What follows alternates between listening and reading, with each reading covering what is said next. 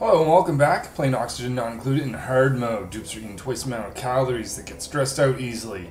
They don't handle the radiation in this world. So in the last episode, I have packed this rocket with all kinds of goodies from the oily asteroid, the Desolens.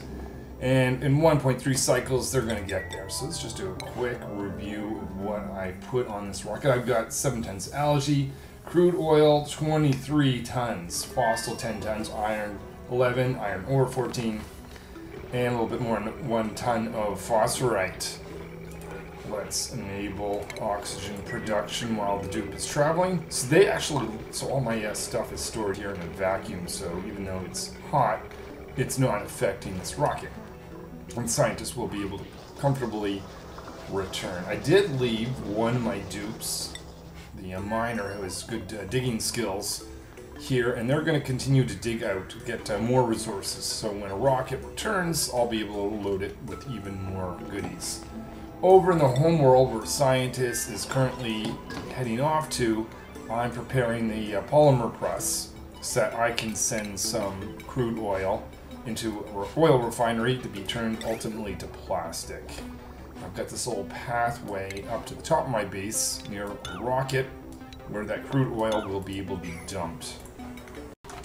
So scientist rocket has landed. That has given me this world access to all these resources. So I'm going to tell the dupes, don't want you to do that. This, undo. Wrangle this critter that uh, I brought along with me. And disable the fridge. So all kinds of material is sitting there. What I'm going to do is build this little area here for polluted or um, crude oil to be dropped in and pumped so I'll need a pump, need that out outer amalgam. Though I don't think it's over 75 degrees. And that's going to be piping this crude oil towards my base so I can produce plastic. After I'm producing plastic, my next project is to have a, a deep freeze in my base. Utilizing the fact that I have this this um, plastic. So right now I'm just having crude oil make its way towards the refinery, which is over here. So we just need to cross this two places. A bridge and another, oh wait, there's, oh I already have an insulated pipe. Why do I not uh, just tap into that then? Alright, so Goal number one, produce plastic. Goal number two, deep freezing of food. And that's going to allow me to store an infinite amount of food compared to the fridge, which I'd have to build a second fridge to actually uh, do more storage. Okay, so just going to finish up this pipe. So it's going to bring crude oil down. Let's disconnect all of this. So I can just add confusion. Send crude oil places that I don't intend it to. Snap the pipe here, here, and here. That'll make its way in here. Now, I've been building this gas pipe. This is going to take the carbon dioxide out of the polymer press and just vent it. I have this carbon dioxide line, but it sometimes gets backed up once the engines are full. So that's why I have a separate line for that going in. So now that I have this area over here, I'm going to tell the dupes to dump crude oil in it. On both of these. Actually, maybe I'll temporarily make them uh, higher settings so the dupes kind of give that a rush. That's going to put the crude oil in the pump. The pump's going to put it in the pipe pipe will lead all the way to the refinery, and that leads into polymer press. Carbon dioxide is going to be going out, and plastic will be dumped out into the world for the first time, and I'll be able to make steam turbines, amongst other things. That's one of the things I need for my deep freeze system, so that's why I'm doing this first. So now that I have crude oil on the way and eventually going to be getting plastic, we can now turn our attention towards the deep freeze system. And here's the polymer press. The first pieces of plastic have been produced next to it. I can use that to build various things, including the steam turbines. I can see the carbon dioxide escaping and going out into space. More crude oil being dropped off here be processed to turn to more plastic. So let's turn our attention towards the uh, not refrigerator, the deep freeze. I want a little bit of petroleum in bottles, so that's why I'm snapping this. So one of the dupes could do that. That would uh, that would allow me to start off this process, and I'll show later on. Where did the petroleum go? Oh, I see. Okay. Very funny dupes. What if you smash that one? There, that created some petroleum. I don't need a lot, so that actually might be enough petroleum. So the dupes will need to mop that up. I'll restore this so that more plastic can be generated. Make sure I get every piece of liquid, even the stuff that's on top of this airflow tile, so the dupes don't get their feet wet when they're operating this machine or picking up plastic. So let me show you the area where I want the deep freezer to be. That's going to be right here. That's going to store two things, ingredients, as well as the cooked food.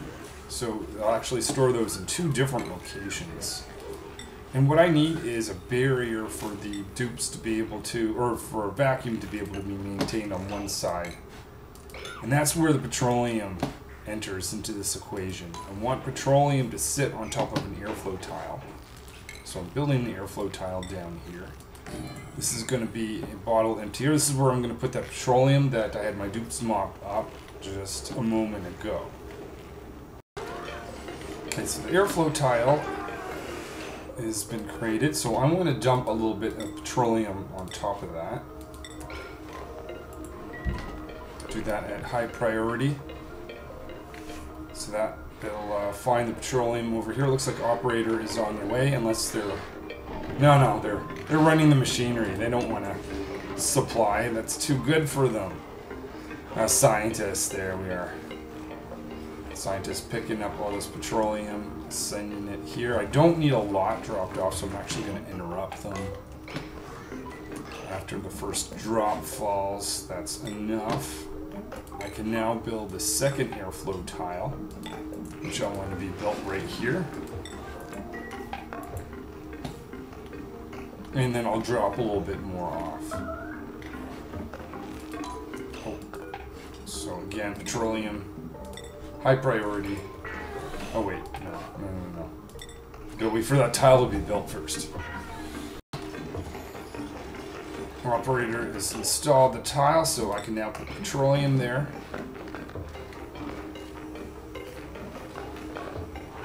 Do picking up coal. Okay, who's gonna drop off the petroleum for me? Might be one of the other dupes. Explorer, excellent. Dropping that off. Okay, so I no longer need this. I can destroy this.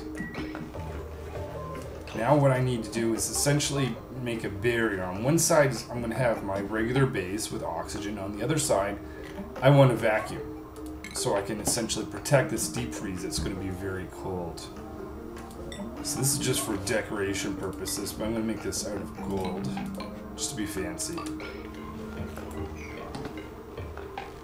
So this petroleum will actually act, you can kind of think of it as a tile, in the sense that it's preventing a vacuum, or would-be vacuum on this side, from escaping over on this side. what I want to have here is the door. This is going to be the access method for the dupes. This is going to be the kitchen. This is going to be how the uh, cook and chef grabs some material that they want to cook. And that material is going to sit on these two things. It's going to be made out of aluminum. And it's going to be, one's going to sit right here. This is the cooked food, and this is the ingredients. So the next part of this is to make the flash freezing system so I can flash freeze food. I'm going to make this out of granite tiles. And that's going to go along right here. Over six. I need to get uh, someone to dig this out for me. We'll dig this out. Now what's going to happen is I'm going to have liquid pipes going through this. It's going to specifically be radiant pipes. Aluminum being the best. So I'll have that wrap around like this. I'm also going to have conveyor rail. This is going to be transporting food itself. And as the food goes through this, these are going to be really cold tiles once I cool them down. Essentially going to flash freeze the food and then store it at this location. So I'll have my ingredients, uh, as I mentioned, up here, and my cooked and finished food down here. So while I'm waiting for this to be created, let's just build the second part of this. So I'll have another conveyor rail line here, here, and similar thing with the radiant pipe make this out of uh, aluminum. So it's going to go around here and here. But I also wanted to visit these two tiles to make sure this tile, these two tiles stay cool. So the idea is liquid's going to go in here. This is going to be a super cooling liquid. It's going to make a pass over this, then make its way in here. And it, similarly, it's going to go up here, make a pass in this, and go out conveyor rail is going to have, so this is my ingredient line. Ingredients are going to be dumped out here. And I want it to pass through this just before going through here, and similarly over here. This is going to have uh, food in. See, bring the food down in here, and go up like this, and dropped off over here.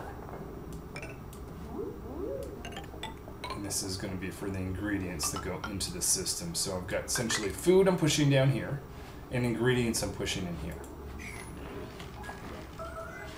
Make a priority for the middle stuff to be finished, because I want to build tiles here, but I don't want to do that until construction of the middle stuff is done. So the one lonely dupe that I left over here, I've got them to expand solar panels over here and getting them to create a ladder just to make it easier to bring resources back in the future when I have a rocket here again. So now that all the stuff in the middle is created, I can get a granite tile added here and here. That'll be enough for me to uh, complete my flash freezing section. Let's build a ladder up and down over here. So what I want to do now is get rid of the salt water. So this is going to be my flash freezing system, but over here is going to be the hot steam. With at the turbine sitting on top of that with aquatuners. And aqua tuner is what's going to essentially keep this really, really cold, maybe minus 50 degrees or so. So the fact that water is in this area is perfect because that is, uh, you know, water will turn to steam, but I'd rather get rid of this salt. So I'm going to dig in here and get that to be drained down. I'll give one of the dupes that's local here, maybe Explorer, ability to dig through that. Where are you, Explorer? Let's give you super duper hard digging. So now that I have this area built up, I'm going to add next layer of granite. It's going to go here here. And to dig over here. Now I'm going to put in some of the tiles that the uh, steam turbines are going to sit on. It's going to be made out of ceramic because there's going to be steam underneath them. There's going to be two of them, so that's going to essentially be 10 of these ceramic tiles. Explorer is down here cutting out this area so I can get the salt water here to start dropping. I already see that being the case. So good job. And I want to get the dupes to work in this area. It's wet. It is 42 degrees. I figured I'll put some, I'll give them a little bit of pity. I'm going to give them some Atmo suits for them to be able to uh, explore that area. So that's going to need a bit of power. Oxygen line is heading there. And let's generate a little bit more Atmo suits to put in that spot. To go uh, repair forever. So ready to install the Aquatuner. I'm to make this one out of gold amalgam. Then I'll upgrade this to steel later once I have steel. So it's going to have a ceramic pipe going in and out. And this is going to be pumping ethanol. Ethanol you can get down to really cold temperatures. I'm going to get it down to minus 50 and push it through this with the help of this aquatuner. So since I want ethanol, I better produce that. I now have an ethanol distillery. Only need to run that for a short period of time. I need about maybe even less than a ton, half a ton maybe, stored in here just to make a run around here and then a trip into the aquatuner when it needs to be cooled. So now I have this area sealed off, providing power to the aquatuner, and a wall preventing liquid from getting out. Letting the dupes go in here and take all this stuff down so I can get all this water to go into this area. And that's going to interact with aquatuner, keeping it cool so that it can do its job in keeping the ethanol very, very cold. On this asteroid I now have a fire pole and ladder. Just want to do the job of digging out some of these dangerous plants from underneath them before I go into some of those biomes. So have this here do that. So just having a pass by area here, getting water to maintain a vacuum or future vacuum anyway on this side so that the dupes can dip down in here and then be able to go into this future vacuum area. I'll have to seal this off so that the dupes can only get in this area both within in here and in here with using the Atmos suits. So I now have a half a ton of ethanol that's going to be enough. We can disable this building, even destroy it. And I'm going to make sure to remove the polluted dirt that has been accumulated here because as I create tiles here, I do not want polluted dirt down here. That's going to leak polluted oxygen, ruining my vacuum. So just bring in heavy watt wires to this area. So going to disconnect this section here. And bring in heavy watt wires so that I can get the aquatuner and a series of pumps as well to use the larger circuit. I've got a number of pumps here that I'm starting to build.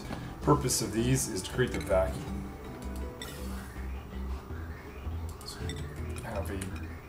Jumps over this. I will get several pumps to feed into this. Those three will go this direction, these two can meet up here and go out over here. Gas bridge, gas vent.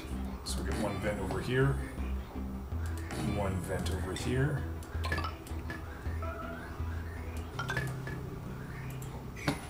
Just need some power. So do everything with heavy wire that's inside this zone.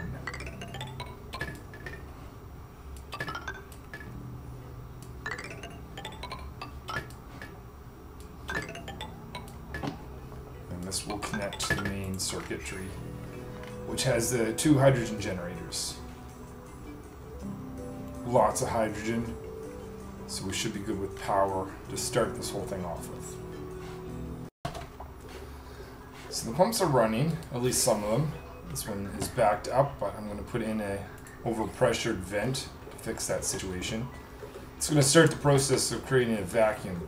Now, while we're waiting for that vacuum, I can get on with construction of the cooling system. So I need a little bit of automation here. So I'm going to take the temperature of ethanol as it goes out of this. And then when it feeds into this, if it's not cold enough, this is going to tell it to go into the aquatuner. If it is cold enough, just destroy that pipe there. If it is cold enough, then bypass that, skip that, and we'll go in this direction, jumping over this. And then these two are going to meet at this location. Just have to wait for that pipe to be destroyed, and then they're going to go up and into this cooling system.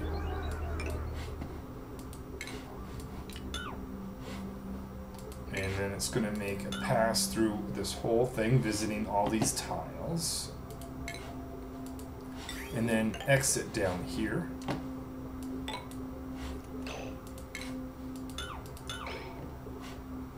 Connect that after. And then it's going to go into this liquid reservoir. So that's the ethanol making its way around.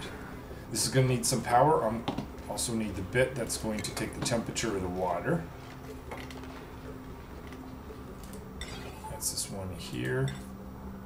Take the temperature just as it's coming out of the liquid reservoir. I'm going to make this out of iron, voiding lead just in case steam ever does spill out. I'm expecting that's not going to happen. That would be a very bad thing. But if it does, it'd be a little bit stronger if it was iron as opposed to lead. I've got lots of lead, so preferring that if if uh, the place is going to be cool enough. And here it is, ethanol making its way around.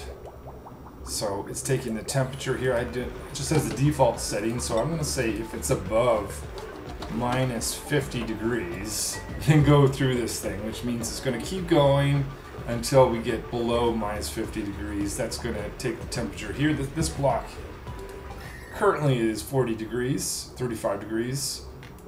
That's going to drop quite a bit. This water here is 42 degrees. It's going to warm up. Some point that's going to turn to steam. But I'm hoping to produce some steel and add some more stuff and seal this area off, create a full vacuum well before that happens. much ethanol is left. There's not much ethanol in there. It's kind of like there's just enough ethanol. Actually not, we're a little bit short. I might want to add just a little bit more. Perhaps I should have aimed for more like a, a ton as opposed to half ton of this stuff. But I can add some more. Do that now. Getting close to 700 kilograms, so I'm going to now turn this off. Once that's off, destroy the pipes that are going into here. Enable this again, and we'll have our ethanol flying through. So this area now is a vacuum. I create these tiles just to speed up that process so I can remove those theory, I can get rid of the pipes or gas pumps, but just in case the, the vacuum is ever ruined, I'll keep them so it can recreate a vacuum if need be, but hoping that won't be the case. So there is ethanol going all around again, going through the Aquatuner. Now if I click on this, I should see 135 kilograms being maintained at this, so there's a little bit more than necessary to go through. This kind of acts as a little bit of a buffer to average the temperature out just a little bit. And already, I'm seeing 13 degrees. So this is warmed up. This hasn't had. This isn't warmed up significantly. 45 or so. But over here, we're already down to 12, and we'll be in the negative temperatures soon enough. So here we are. Got minus 20 degrees sitting here and it's going down. 48 degrees over here, but I've got a vacuum all around this area. Actually, I want to destroy this to create a full vacuum around it. It is now time. Let's see, I don't have power on this. This is connection. There it does, excellent. It's now time to actually say anything that is edible, or I might even specifically just call on barbecue meat put in here. That way when barbecue meat is dropped off here, or uh, you know, produced here, it'll automatically go in there. Now I'll want to tell them to stop putting that in the fridge. We've got a little bit of uh, 800 kilograms, or uh, calories rather, 8,000 calories. I want to put that in here so what I'll do temporarily is I'll build this, I'll put it there, I'll get it to drop down such that this will have access to it. And we'll watch barbecue meat go through the system, flash freezing, and being stored here, where it will never go bad. We've got the barbecue meat in here, let's destroy this. This off for now. Don't want this thing to pick up eggs and put it up here in an infinite loop. destroy this one as well. It's going to drop the barbecue meat down here. This will pick it up, put it into our conveyor loader. Scientist is not feeling so well. The other nice thing about putting it into a deep freeze is because diseases can't uh, exist at negative temperatures. So if uh, food had food poisoning in it, it would not last very long. So it's going to go in here. So this piece of barbecue meat is currently 68 degrees. It's going through a vacuum, so it won't be changing, but once it gets through here, it's 37 degrees, 29, 18, 4 degrees, 6, minus 2, minus 10, minus 13.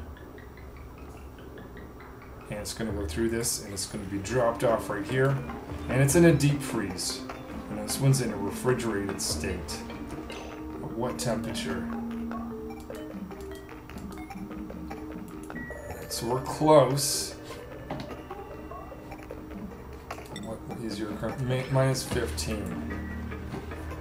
It will continue to go down because it's sitting on this really cold aluminum uh, tile. But to make things work a little bit better, how about... Okay, I want more aluminum. I'm going to replace the ones on the edges with aluminum. But the food that is there will continue to go uh, down in temperature. Just watching this a little bit further, I just realized we're... Okay, critters, excuse me. Just realized we didn't really get our maintained uh, temperature minus 50 yet, so that may very well explain why this didn't arrive in a deep freeze. But it's sitting. This explain. This is uh, this is why it's pretty important to make this out of uh, metal tile or something that interacts really well with this cold temperature. So if I can maintain this, even if it doesn't get dropped off at a deep freeze, it will slowly get there. But once I get minus 50, and then I add a little bit of aluminum. All the food and eventually ingredients are going to be dropped off in a deep freeze. They're in a vacuum, so they're in a sterile environment. They're going to last forever until one of the dupes goes down here and decides they want to eat it. So over time, my uh, meat will never go bad. What I want to do now is put in automation to pick up these guys here and have that, that brought down for me. Otherwise, lettuce is currently going to go into a fridge. So I think this is the last thing I'll do in this episode. I've got my deep freeze created, so that is awesome. Actually, I might just put this in between, because I think I'm going to need two sweepers. This right here, and I'll put another sweeper over here. And this is going to make be a conveyor rail going down. And which one's the food line? The food line is this one. At uh, some point, lettuce might become an ingredient instead of a food, in which case I'll change this, but for now, it's a food source. These two things will need some power. So this is now ready. I can say anytime I see anything that's edible, throw it in here. So once this is ready, and actually remind myself now not to uh, put lettuce in there. So that lettuce that is there, I'll uh, I'll get it to be dropped off. Let's say right here, temporarily. I'll do that later. But let's have a look at this. There it is, minus 54 even. That's awesome. And then all the food here, that's currently barbecue meat. Lettuce will be stored there. Eventually, all my ingredients and food will be in this location and never have to worry about it going bad. In the future, this is going to be my great hall so that the dupes can uh, just go over here, grab some food, find a seat, and, uh, and eat. Over here, this has gotten up to almost 50 degrees. So in this this uh, next episode, I'm going to build a system that actually handles this turning into steam with uh, these two steam turbines. I'm also going to build my metal refinery right here and get this whole system to handle all the heat that comes from the metal refinery, getting that to be turned into steam rather than going out as it is now, jumping all that hot liquid down in this environment. It will no longer do that. It'll actually heat up this area, getting power back, so it won't cost as much power to use that. Anyway, that's the next episode. This episode, I'm definitely going to end here because this is an accomplishment. I've got a deep freezer. My food's never going to go bad. That's going to allow me to store up my calories. Well, thank you for watching. I will see you in another episode. Until then.